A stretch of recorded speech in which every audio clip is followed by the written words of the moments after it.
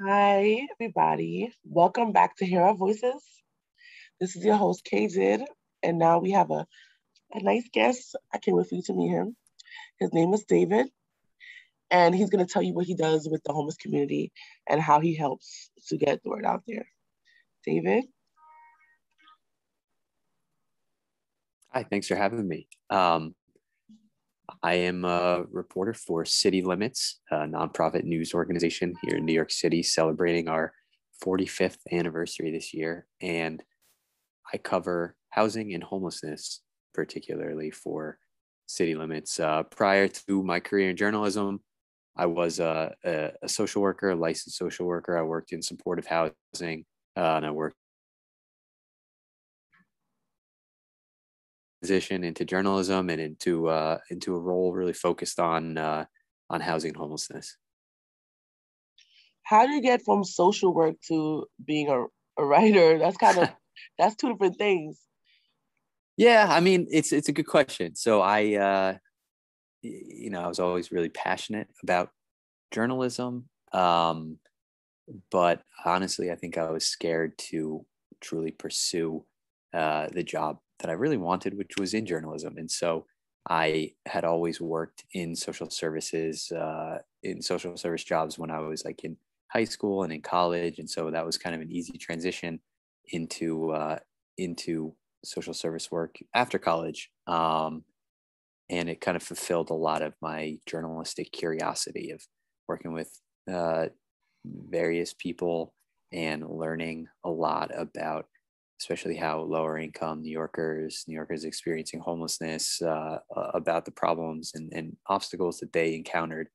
And, you know, I really liked the job. I was working uh, as a case manager and in supportive housing at a couple different organizations and uh, went to school to get my LMSW, um, to get my MSW and then to get licensed after that. Uh, but even, you know, toward the end of my grad school experience, I just couldn't deny anymore that you know wh- where i felt i could have the biggest impact and also pursue the thing that i was most passionate about would be uh, journalism. And so at that time i was also i was running programs that fused fitness and mental health for people living in supportive housing. So i was a i was a, a uh, personal trainer also a social worker so kind of using those skills. Um, and basically like a, fr- a freelancer. So I was working with different organizations, going to sites in the Bronx and Washington Heights and Bed-Stuy, uh, really, I think like 10 different sites. And so I would have that work experience, but I would also have a lot of time to be able to do reporting and writing. And so gradually transitioning uh, from a, a, freelance journalism role to a full-time one. And then I got a, a break at a newspaper in Queens that was just starting called the Queens Daily Eagle they hired me to be their first editor. Um, and that was a, a cool experience. And so that was the, uh, that's how I made that shift. That's pretty cool, actually. That's really pretty cool. Thank you. So I want to know from your writing, what do you think the most problems people have, like New Yorkers have, with homelessness? And from your point of view? Um, well, do you, do you mean like the problems that people experiencing homelessness have, or the people the problems that people have like with people who are homeless, or with like? It could be both, honestly. Yeah. From point of from what you have seen and wrote about about in your like your columns and stuff like that.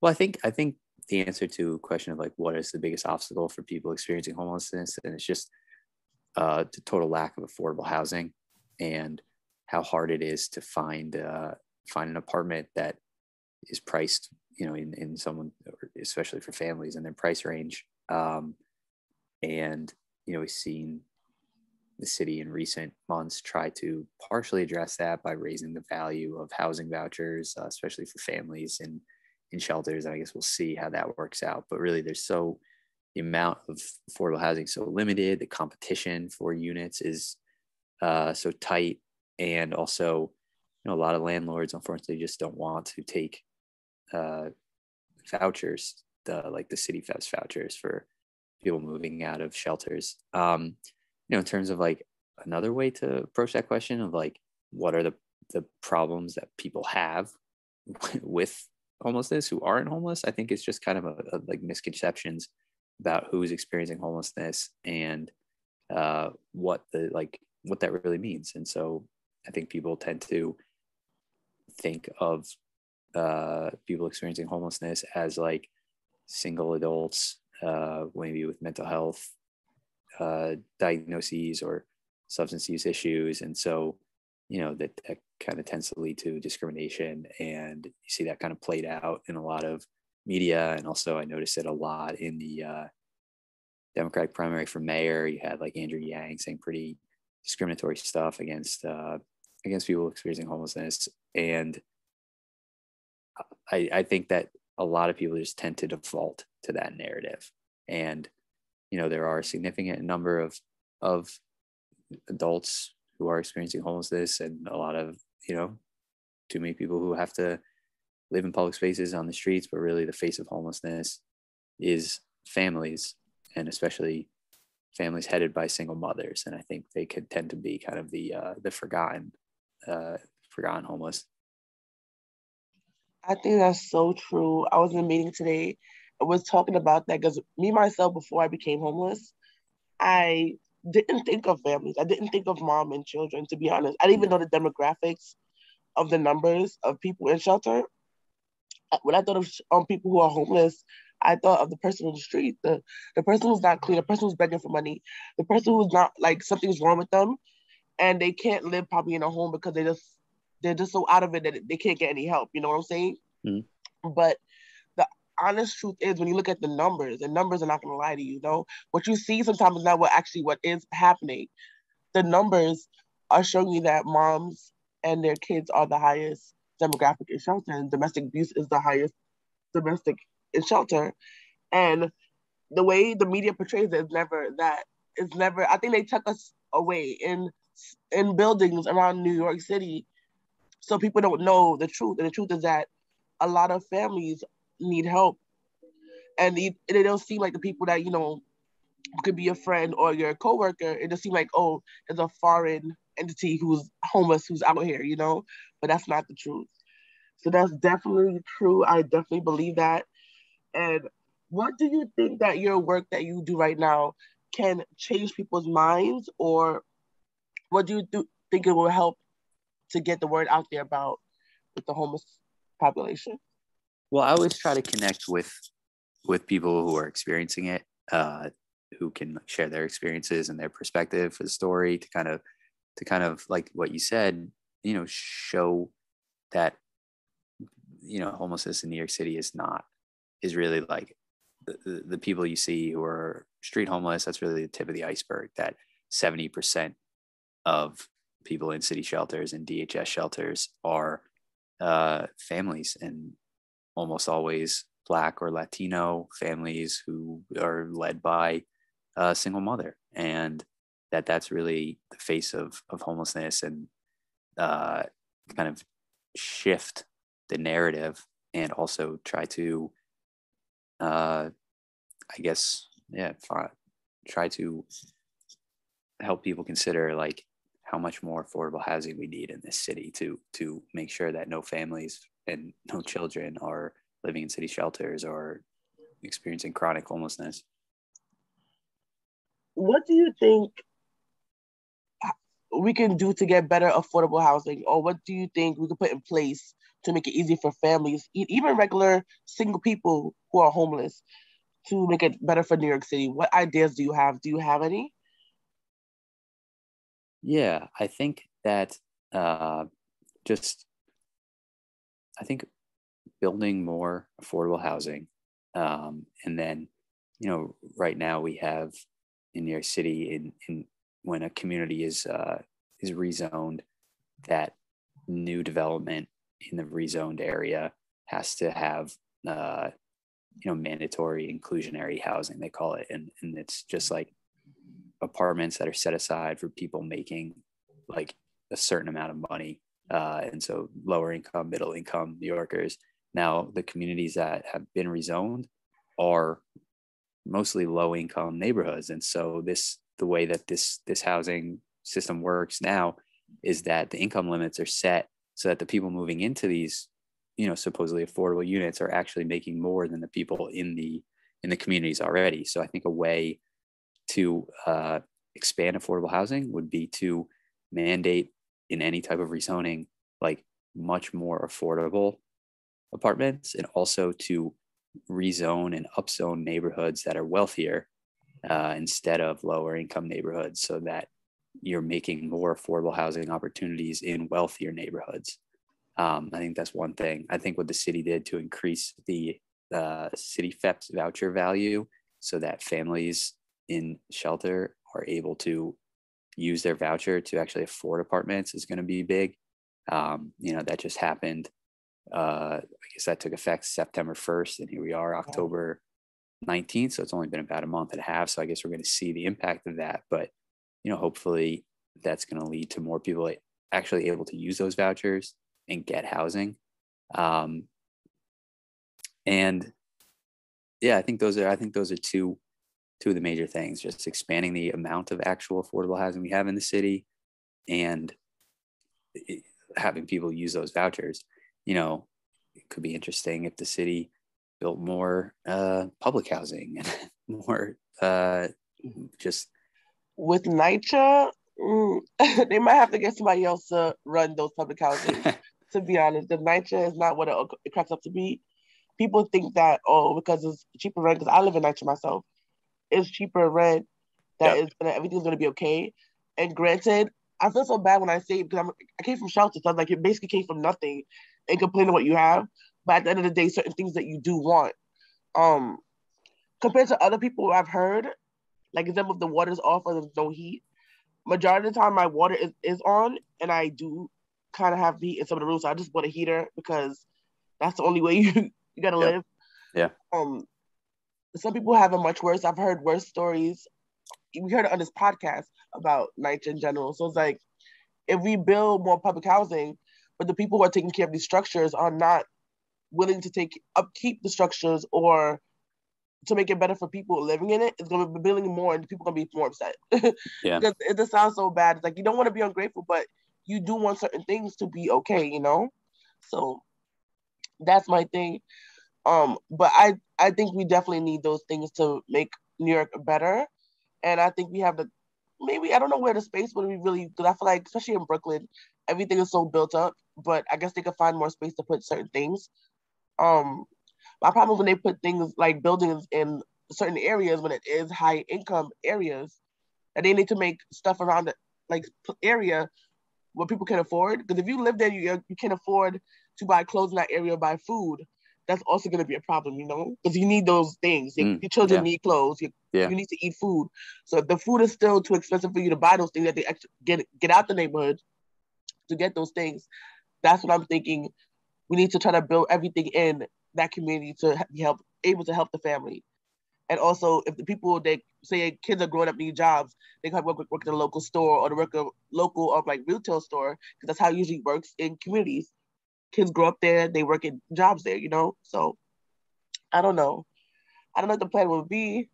I don't have all the answers, so I hope it all works out.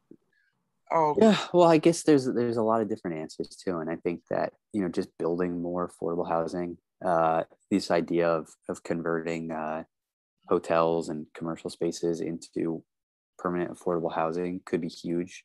We'll see if that actually happens, and or you know, I, I imagine it'll happen to an extent, but see if that could see if they could actually turn a lot of these types of buildings into permanent housing for people experiencing homelessness, like the uh, state passed a bill called the Housing Our Neighborhood Neighbors with Dignity Act, HONDA, where it's like gives some seed money to uh, to start those types of building conversions and like turning them into affordable housing, and it could be really good. But see, you know, we need I think the will to actually do it, and the will to say like people shouldn't be homeless, and families and children in particular shouldn't be homeless, and they shouldn't be homeless for as long as we are seeing people remain in shelter and so many people who are homeless who aren't in shelter or aren't in a shelter the entire time like people who are you know spend some time in shelter. Maybe they spend some time with family or friends or a partner or rent a room and then they return to shelter. And so that's not necessarily calculated in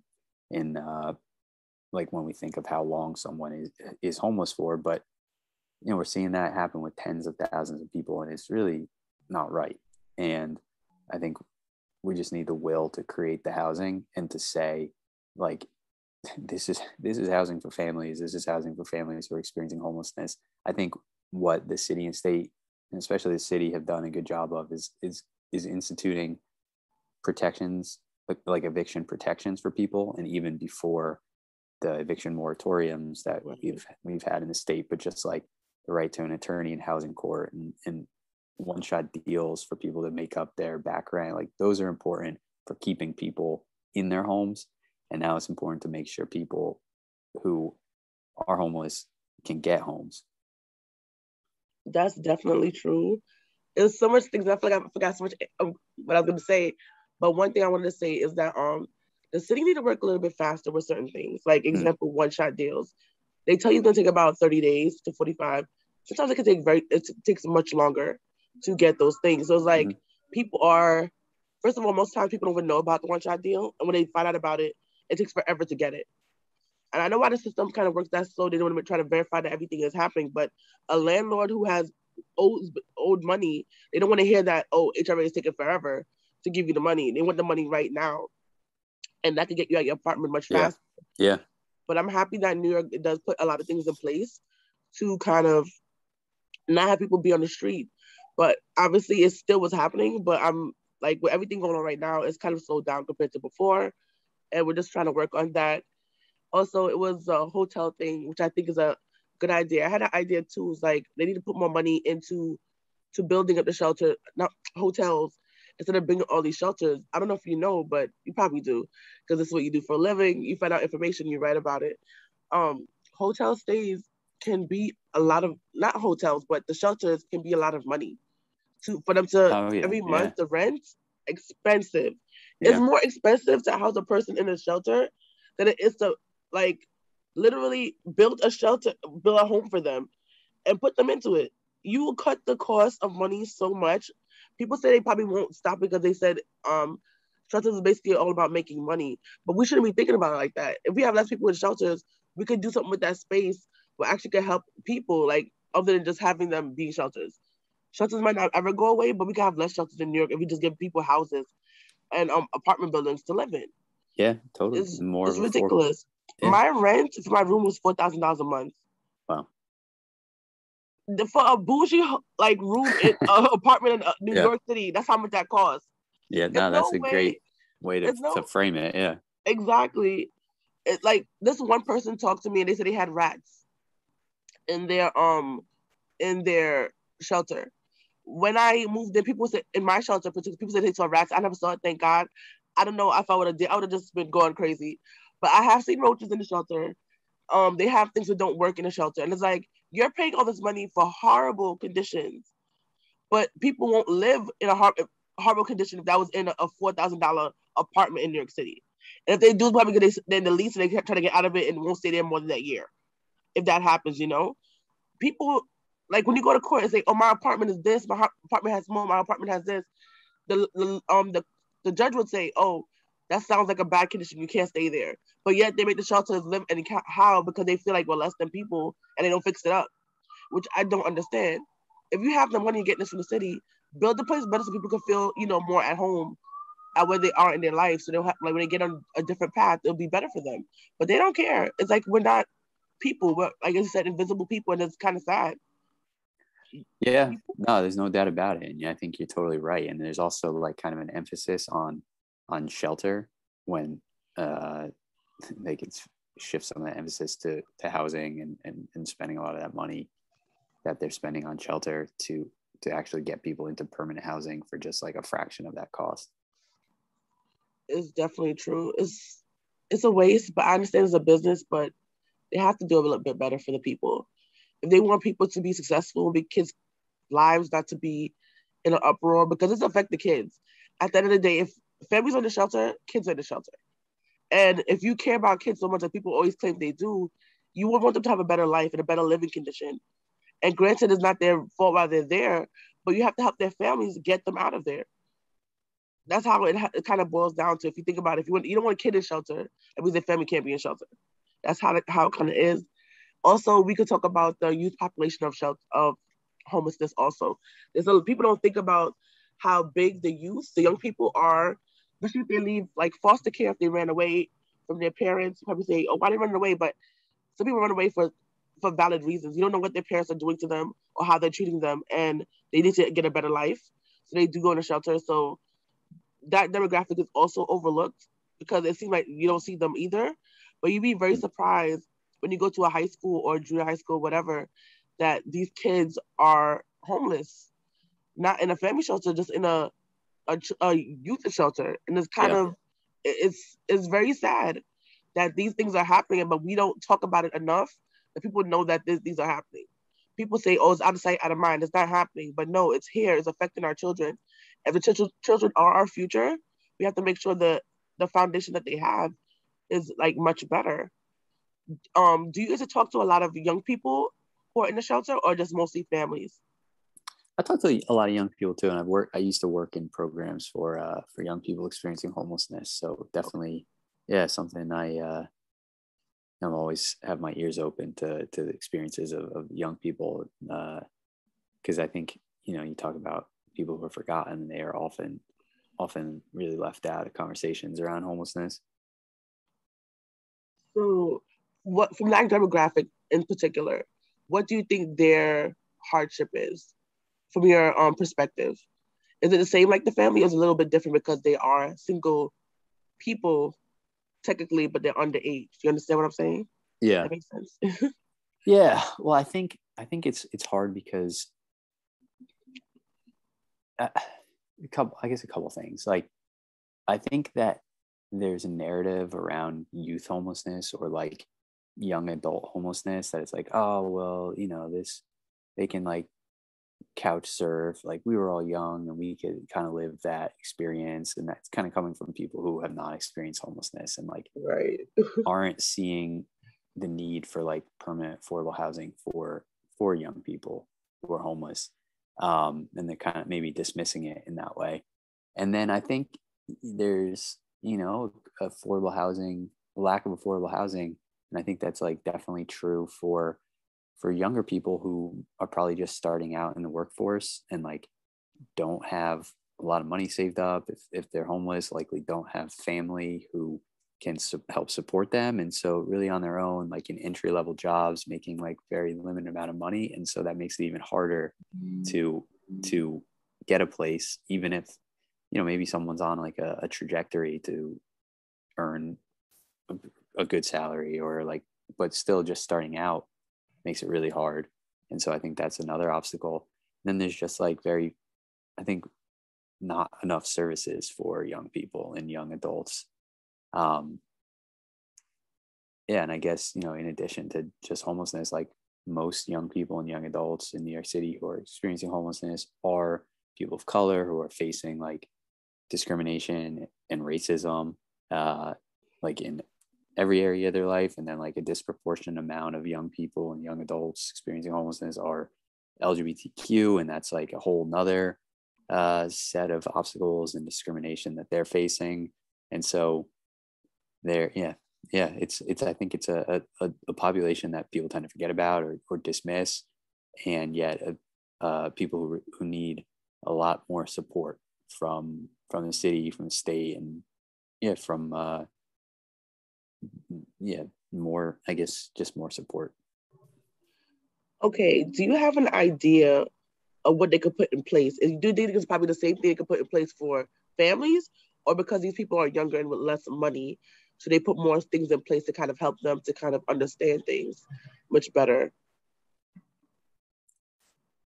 Uh, yeah, I get what you mean. Like people kind of just starting out in life too, and probably yeah. kind of just like uh, guidance in a way. Yeah, guidance. Yeah, exactly. That's the way you say it. And so I think there should be some more of that. You know, there's a lot of really great organizations that are providing that support, and I think there just needs to be more of them and and, and more funding for that. Um, maybe more like specific housing for young people um, and more opportunities to get the type of like housing assistance and housing vouchers that are available to uh, people in, in DHS shelters. Well, yeah, the guidance is a good point because you know people just starting out in their adulthood like do need support and do have are going to face obstacles and so that kind of guidance would be pretty key. Yeah i think i know they was talking about how they just start giving parents or putting like in a fund for children and when they get 18 i think it's 18 i believe i'm not even sure. Um like a certain amount of money so when they get like a certain age they would get it um i think that'd be a good idea but i'm like what about the kids now who need those those things now? You're gonna wait 18 years or whatever, how long they put the system in. To me i think they should have give money to like if you go to college or if you're working or whatever have give them a certain amount of money or do a class to show them how to do these life skills? Because honestly high school in new york city i don't know about anywhere else i only grew up here. They don't teach you how to do these things. And some parents don't even though they they struggle as they when they young were younger but yet they don't pass on knowledge that they know so it's like they go out in the world just not knowing how to do things and i can say that that was happening to me my mother's from jamaica and a lot of skills in life I just did not know. I made it, yeah. but I just didn't know it, you know. And it's it's better when you don't struggle. It's better if you don't have to struggle to get where you have to go. Some cultures and some people, from when their kids are young, they make sure their kids know certain things. So when they get to be an adult, they have all these things in their back pocket. Like my mom told me how to do this, how to balance a checkbook, how to well, people don't write checks that much anymore, but write checks. Um, know how to just do certain things, just how to take care of everyday life, how to cook, certain skills that you need just to be able to how to re- read a lease. I think certain things like that, reading a lease and know what you should and should not do, that you can't bring a roommate out of nowhere. Like certain things people just need to know and they wouldn't get into so much trouble as like as a young adult that their parents are just leaving out. Probably they thought it was important to even tell them, but yet they needed it when they were younger. So why we not just not pass on the knowledge to your children? Um, I think guidance would definitely be be good for people, you know, to kind of help them out, and they won't be in the lurch for that. I think that particular age group. I, I, to be honest, guys, I do not know that much about that age group because when I went home, I didn't, I wasn't put in that age group in particular. But I think that'd be like my two cents if I had to think of things to kind of help that age group to get a little bit better. Yeah, no, that's great. Those are great points. Yeah. Yeah. So, do you have any like lasting words that you want to give people to tell them about what they should think or what they should do or anything you want to give somebody who's listening right now? Um, yeah, I guess that, you know, we've had this crisis of homelessness in New York City for so long now that it seems like it's kind of like that it's uh, not solvable or that it's kind of like a natural occurrence that we're just going to have to manage and deal with. But just kind of thinking of like of homelessness as something that we really can solve and that being homeless doesn't mean that there's like anything wrong with people. It just means that they can't afford homes in our very expensive city and so kind of framing it from that perspective eh, as something that's fixable and that the solution to just have housing and to have supports that people need to remain in that housing and to stay healthy and to stay safe you know we can do that. It's just going to take will and it's going to take uh, not just people who are experiencing homelessness or their advocates to like stand up for that. It could take all of us to, to say that we want that and that we want to live in a city in an area where we don't have families and kids living in homeless shelters. Definitely. So, David, where can the people find your writing? Do you want them to follow you on Twitter or Instagram? You can give out your information right now if you will. Uh, yeah, that'd be great. So you can follow me on Twitter at David F Brand. That's at David F Brand. You can read my uh, articles at citylimits.org. Uh, again, citylimits.org, nonprofit news organization. We've been around for 45 years. Uh, I cover a lot of issues related to family homelessness, uh, to homelessness, to affordable housing. So please check us out, check out the stories. And if there's anything that uh, you're encountering, if you're someone experiencing homelessness, if you're someone at risk of experiencing homelessness, you're an advocate, an attorney, social worker, you're in city government, uh, something needs exploration or something you think needs reporting, please reach out to me through City Limits or uh, you can just send me a DM on Twitter. That is so good, guys. So we're about at the closing of Hear Our Voices. Guys, as you might know already, we have our new Twitter account. We have an IG account. So I'm not gonna say it out because I honestly forgot them. so everything will be in the description box below, and you can just click on the link. And his link will also be down below. So if you want to see anything about David, you can find out more information. Thank you for coming out. And don't forget also, guys, don't forget about the invisible people. That's kind of the theme for this message this week. Hmm. And I think it's a very good theme to have. They might be invisible to you, but they are real people. And just be better, do better, and help out when you can. Thank you guys. Thank Thanks you for, for having me on. on. Thank you.